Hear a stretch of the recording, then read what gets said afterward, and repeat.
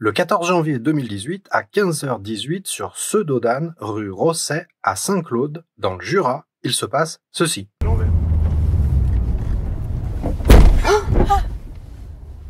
Putain. De Dieu. Pourtant, j'étais vraiment tout doucement en première. Ah, j'étais tout doux, hein. C'est quoi ce bruit? Il a raclé. euh, Ah bah là, j'ai bien touché, je sais pas, mais... Je vais m'arrêter pour voir quand je peux. Je m'arrête un peu plus loin pour constater les dégâts. Dessous de la voiture, salement râpée et plusieurs rivets arrachés.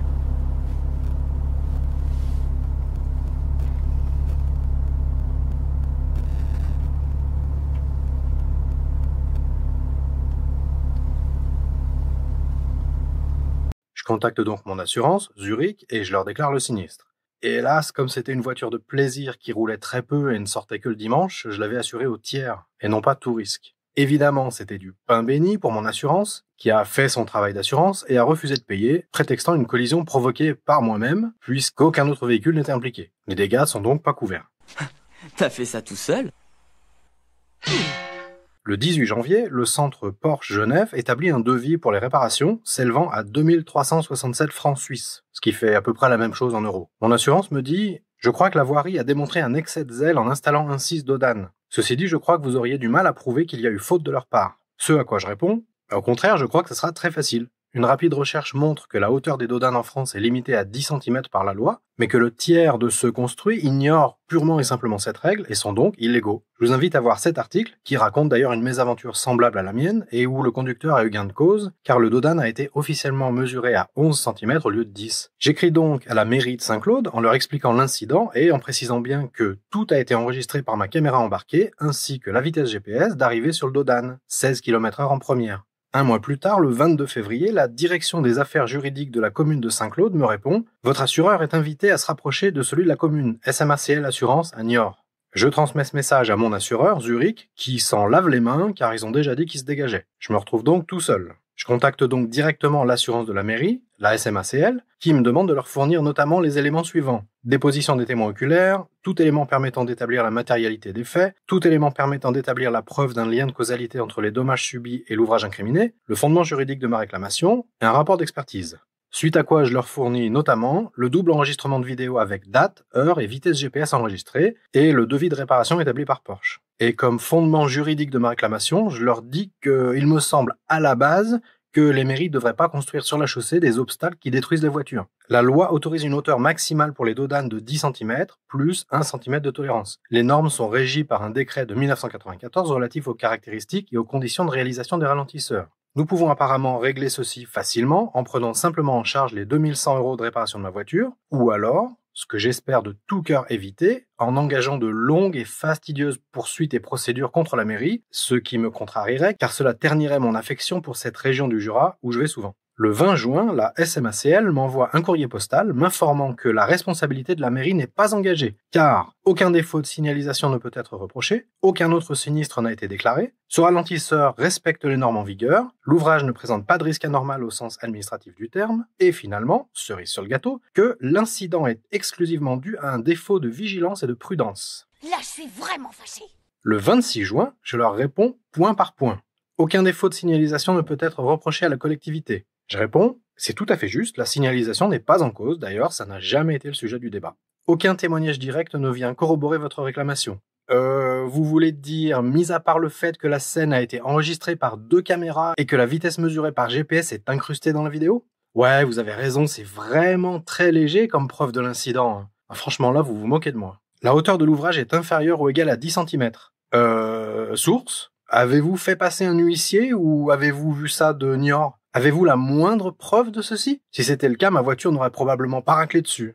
L'incident est exclusivement dû à un défaut de vigilance et de prudence. Et je réponds, le double enregistrement et la vitesse du GPS démontrent sans aucun problème que ceci est faux. La vitesse d'approche était inférieure à 30 km heure, 16 km heure en première à l'impact, ce qui prouve sans équivoque qu'il n'y a pas eu faute de ma part. Je veux bien que les assurances jouent leur rôle d'assurance, à savoir tout faire pour pas payer. Mais vu que l'incident a été enregistré par deux caméras dont l'une avec vitesse GPS et que vous avez le culot de me dire qu'aucun témoignage slash preuve ne vient appuyer ma réclamation, vous clamez sans aucune preuve que l'ouvrage mesure moins de 10 cm et vous m'accusez d'un défaut de prudence alors que la vitesse GPS prouve que j'ai attaqué le ralentisseur à moins de 30 km heure, je me vois donc dans l'obligation d'aller constater sur place moi-même la hauteur du ralentisseur. Si je le trouve supérieur à 10 cm, je ferai passer un huissier. S'il se trouve que le ralentisseur mesure effectivement 10 cm ou moins, je vous adresserai mes excuses et accepterai votre dégagement de responsabilité. Ne fermez donc pas le dossier tout de suite. Alors ce que je fais, j'empile des livres sur une hauteur mesurée de 10 cm, je retourne devant le dodan, je pose les livres devant le dodan et je fais une photo à ras du sol. Et là, c'est indéniable, c'est flagrant, le dodan est largement plus haut que la pile de livres. Le 2 juillet, je transmets ces photos à l'assurance SMACL et en profite pour leur dire que le ralentisseur est profondément marqué de raclement, photo 3, ce qui contredit votre affirmation selon laquelle c'est la première fois que quelqu'un racle dessus. Et que, de toute façon, même si j'étais le premier à racler dessus, euh, j'ai du mal à comprendre en quoi ceci serait un argument valide pour ne pas m'indemniser. Dans l'état actuel des choses, je vois deux possibilités. Soit vous faites machine arrière, admettez que l'ouvrage est trop haut et prenez en charge les réparations, soit vous arguez que, à cause de l'angle de la prise de vue, le ralentisseur semble être plus haut que les livres, alors qu'en fait non pas du tout, ou alors que euh, les photos ont été retouchées, euh, auquel cas je passe à l'étape suivante et je mandate un huissier pour officialiser la hauteur du ralentisseur. En cas de confirmation, j'exigerai bien évidemment le remboursement de ces honoraires en plus de celui des travaux sur ma voiture, estimé pour rappel à environ 2100 euros. Trois semaines plus tard, le 23 juillet, je leur renvoie le message suivant.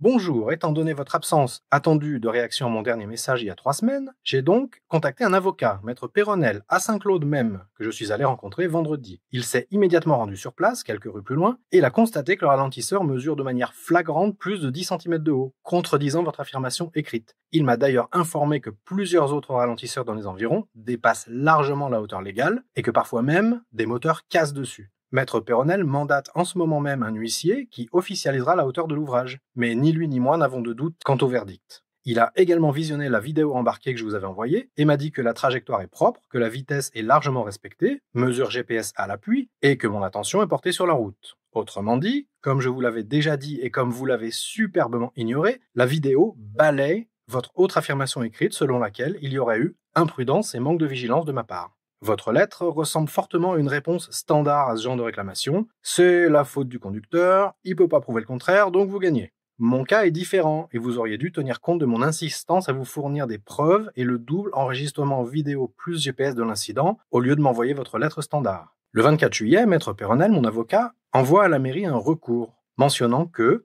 le dit ralentisseur n'est pas conforme à la réglementation, tout comme un autre situé rue Pasteur. Au regard de l'enregistrement vidéo, je n'ai commis aucune faute. L'ouvrage présente un risque anormal et spécial. Ce n'est pas parce qu'aucun sinistre n'aurait été déclaré que l'ouvrage ne comporte pas un certain danger, comme le prouvent les photographies prises montrant des rainures sans nul doute causées par d'autres véhicules que le sien. Le 17 novembre, Maître Péronel m'informe aucune réponse à ce jour de la commune, qui a pourtant un délai légal de deux mois pour répondre à un recours d'avocat. Et j'ai fait établir un constat, état du ralentisseur et vitesse de votre véhicule le cabinet d'huissier de justice mandaté par Maître Péronel, basé à Lons-le-Saunier, émet le procès verbal suivant, dans lequel le dodan est mesuré une première fois entre 13,5 et 14 cm et une seconde fois à 13 cm.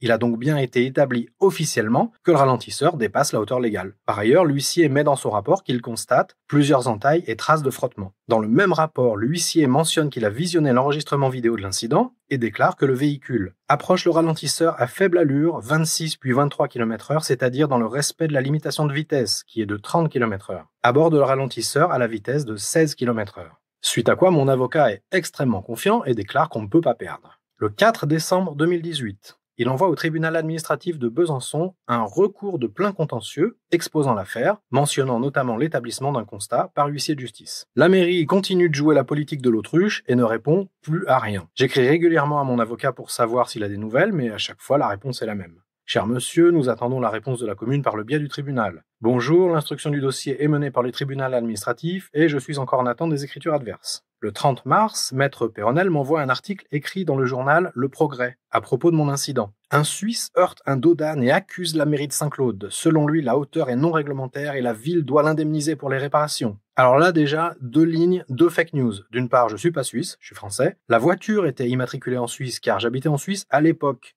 Et ensuite, selon lui, non, c'est pas selon moi, c'est selon un rapport d'huissier de justice. Troisième ligne, troisième fake news.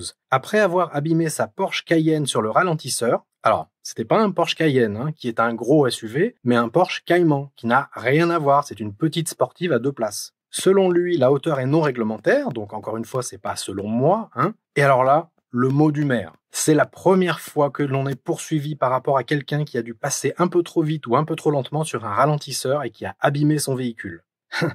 un peu trop vite ou un peu trop lentement? Alors, un peu trop vite, j'ai la preuve que c'est faux, hein, 16 km heure, mais un peu trop lentement, un peu trop lentement, mais depuis quand passer lentement sur un dos d'âne fait frotter la voiture? Sérieusement? Jean-Louis Millet, maire de Saint-Claude, rit jaune et s'indigne face à cette situation presque comique. Ouais, donc je suis le méchant, voilà, c'est moi le méchant suisse dans sa puissante Porsche. non seulement cet article est rempli d'erreurs, ne cite aucune source, ne mentionne pas le rapport d'huissier, car selon toute vraisemblance, ils n'en ont jamais entendu parler, mais en plus il transpire le mépris des riches Suisses en Porsche. Alors pour info, le riche suisse n'est ni suisse ni riche, hein, parce que ma Porsche, elle m'a coûté 35 000 euros d'occasion. C'était la voiture de mes rêves. J'ai travaillé dur et j'ai économisé longtemps pour me la payer. 35 000 euros, c'est le prix d'une euh, voiture familiale neuve quelconque. Hein. J'ai donc accepté l'offre de mon avocat de contacter Le Progrès et de faire rectifier cet article. Le 9 avril, Le Progrès publie un deuxième article. La Porsche Cayman serait passée à 16 km heure. Ah, deux corrections. Cayman, oui, non pas Cayenne, et 16 km heure, donc dans le respect des limitations de vitesse. Le conducteur français résidant en Suisse. Merci. Alors, je suis pas abonné au progrès, donc je peux pas lire la suite de l'article. C'est bien qu'ils aient écrit un autre article pour dire que le premier est erroné, mais ça aurait été encore mieux qu'ils n'écrivent pas en premier lieu le premier article rempli d'erreurs et d'interprétations. D'ailleurs, ils n'ont jamais modifié l'article d'origine, hein, qui est toujours en ligne tel quel. Le 24 mai 2019, le tribunal administratif de Besançon rend son jugement. Alors, je vais pas tout lire, hein, je vous laisse mettre pause si vous voulez lire, mais en gros, le tribunal dit que je prétend beaucoup de choses sans aucune preuve, que le fondement juridique est confus et conclut sur l'absence de responsabilité de la commune de Saint-Claude et me condamne à payer 2000 euros à la mairie. Je réponds à mon avocat que, euh, alors selon eux, je prétends n'être pas arrivé trop vite, sans preuve, et je prétends que l'ouvrage est de hauteur illégale, sans preuve. Il conclut donc l'irrecevabilité de mes propos, car je produis aucun justificatif. Où est donc passée ma vidéo embarquée? J'ai la preuve vidéo de l'incident avec la vitesse GPS. J'ai immédiatement filmé les dégâts. Tout est enregistré. La hauteur de l'ouvrage a été officiellement mesurée comme illégale par un huissier. J'ai de multiples preuves, mais la partie adverse se contente de les ignorer. Et non seulement elle se déclare innocente, mais en plus me déclare coupable. J'en conclus que non seulement les mairies sont au-dessus des lois, mais en plus elles font payer ceux qui osent le contester. Elles ont le droit de construire des ouvrages illégaux qui détruisent les voitures, et les conducteurs lésés n'ont que le droit de se taire. Je pensais être citoyen d'un système plus juste que cela, mais je m'aperçois m'être lourdement trompé. Je vous serais reconnaissant de bien vouloir vous assurer que la partie adverse, en la personne de Madame Catherine Suissa, a bien vu l'enregistrement vidéo et est au courant que l'ouvrage a été constaté illégal par un huissier. Le 29 mai, Maître Péronel envoie donc au tribunal un mémoire en réplique, disant que si j'ai des preuves, j'ai un constat d'huissier et une vidéo. Mais il produit toujours pas la vidéo, il la montre toujours pas au tribunal, ils l'ont jamais vue cette vidéo. Donc je lui dis, cette vidéo est ma défense principale. Vous avez vous-même dit en la visionnant la première fois, avec ça c'est gagné mais elle n'apparaît pas, ou alors elle est simplement mentionnée. C'est comme si on avait retrouvé l'arme d'un crime avec des empreintes dessus, mais que cette preuve était considérée sans importance. Ne croyez-vous pas qu'il faudrait insister sur cette vidéo embarquée, la produire, ou au moins en décrire le contenu et ce qu'elle prouve? Ce à quoi mon avocat me répond sobrement, le constat apparaît suffisant. Bon. Le 8 août, soit deux ans et demi après les faits, le tribunal rend son deuxième jugement. Et une deuxième fois, j'ai perdu. La somme à payer a toutefois été minorée à 1000 euros au lieu de 2000 euros, mais j'ai perdu. Donc bon, à partir de là, j'ai encore euh, essayé de me battre, mais bon, fallait passer en cours de cassation pour un coût moyen de 2500 à 3000 euros, et si je me lançais là-dedans, à coup sûr, j'allais encore perdre. Parce que cette affaire m'a appris une chose avec la justice, entre guillemets, française, c'est que vous avez beau apporter des preuves de tout ce que vous avancez, une double vidéo, une vitesse GPS enregistrée, un constat d'huissier, et vous acharnez à les montrer, vous perdrez parce que vous n'êtes pas maire et que vous connaissez pas le juge. C'est comme ça que fonctionne le système. Le 19 août 2022, j'ai reçu par courrier postal un avis officiel de somme à payer émis par le percepteur municipal de Saint-Claude, m'ordonnant de payer 1000 euros à la commune.